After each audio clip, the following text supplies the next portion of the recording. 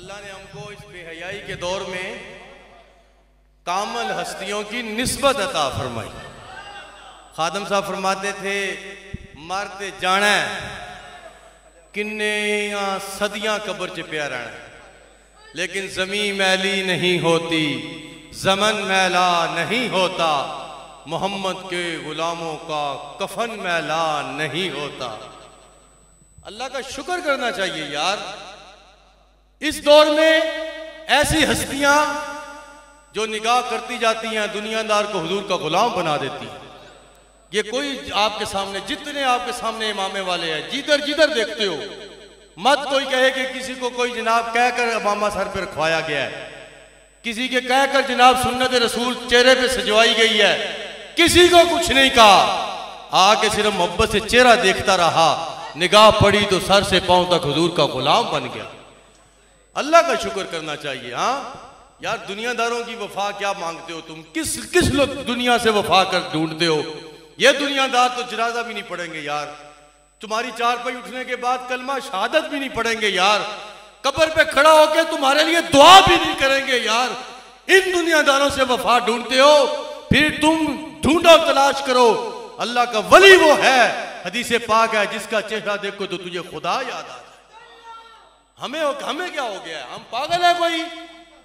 यार मुबारक साहब रहमा, आप, हाय हाय, आप एयरपोर्ट पे तशरीफ़ लेके गए। आपने, आप जा रहे थे, लोग देख रहे थे।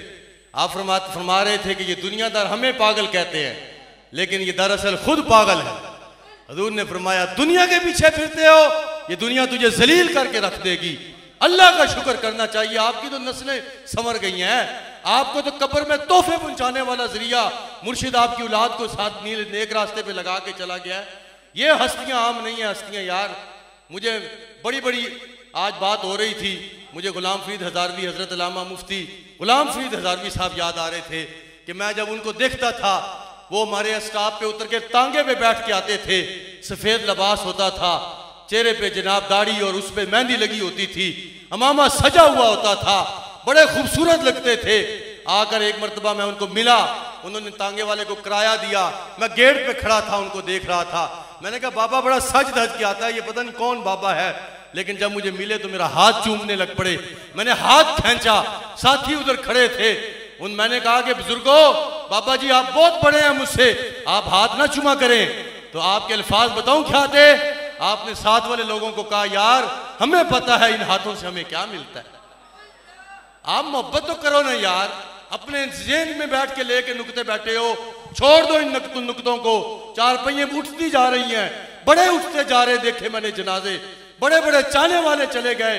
एक जनाब बीमारी खड़ी होती है, पता भी नहीं चलता, बंदा खत्म हो जाता यार, ये नुकतों को निकाल के पीर भाइयों से मोहब्बत करो। मुर्शिद ने ये तरीका नहीं बताया, फलां के साथ तुम दुश्मनी रखो, फलां के साथ तुम दो करो। ये तरीका मुर्शिद का नहीं है। मुर्शिद का तरीका ये है आओ देखो मियाँ साहब को, सरकार को। आज भी मुबारक साहब के स्थाने पे जाके हाजिरी लगवाते हैं। मुबारक साहब भी चले गए। कहा भी नहीं मुबारक साहब ने मेरे साथ पीछे से तुमने रबता रखना है। लेकिन आपके अंदर वफा वाला खून है। आपने फरमाया, ना ना, मुझे कोई तवज्जो दे या ना दे। मैंने अपने मुर्शिद खाने के साथ वफा करना यार, किस किस किस तरह के, क्या वक्त करना है? ज़िंदगी का क्या करना है?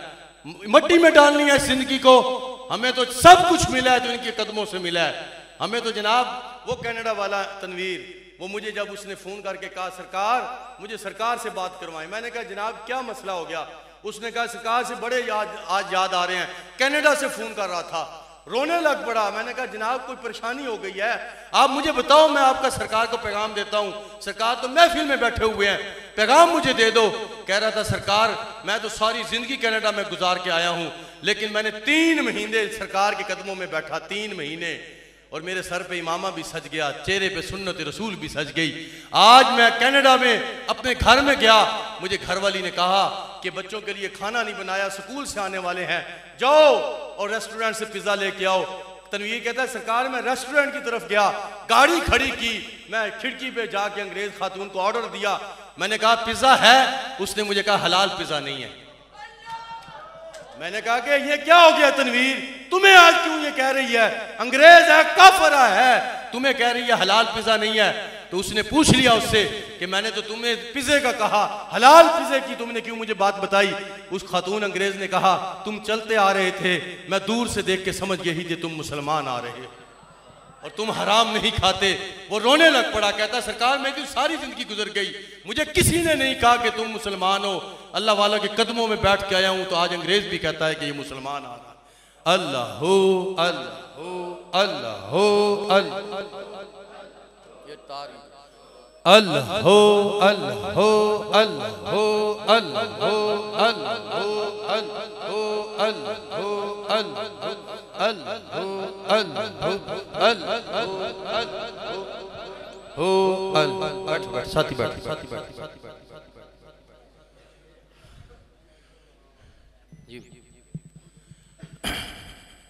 तो उसने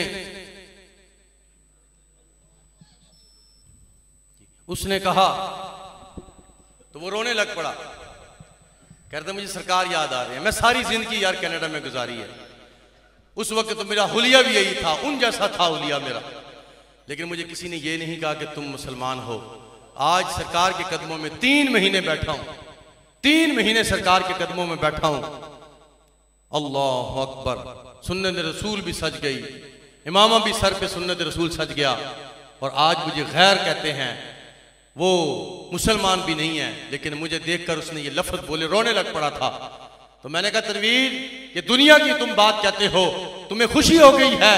किसी खैर ने तुम्हें कह दिया कि तुम मुसलमान हो। पता तो उस दिन चलेगा, जब तीसरा सवाल होते वक्त अपने लजपाल नबी की जियारत होगी। माँ कुंता तकूल फ़ी हक की हाजर रजुल। उम्मती इधर होगा, अपने नबी की जियारत कर रहा होगा। हजूर की मुस्कुराहट आ जाए और हजूर फरमाए, ये तो मेरा अपना गुलाम आ रहा है। हमारा मकसद ये है नस्बत का, हमारा मकसद ये है अल्लाह वालों के साथ दोस्ती का, हमारा मकसद ये है इनके साथ संगत का, कि अल्लाह करे हम दुनिया से चले जाएँ।